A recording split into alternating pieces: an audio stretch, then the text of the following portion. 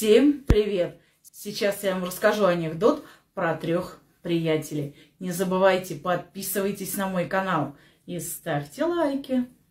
Спорят три приятеля, где лучше всего заниматься любовью.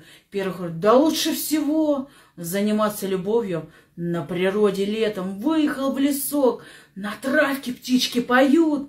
Второй говорит, не, лучше всего заниматься на шелковых простынях дома. Да на шелковых простынях, баба! Блин, да вытворять то, что и в голову не может даже прийти.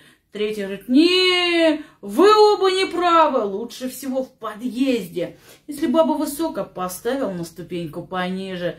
Если баба низко, поставил ее на ступеньку повыше. Ну а самое главное, если она тебе надоела, ты можешь всегда сказать, что кто-то идет. Ha!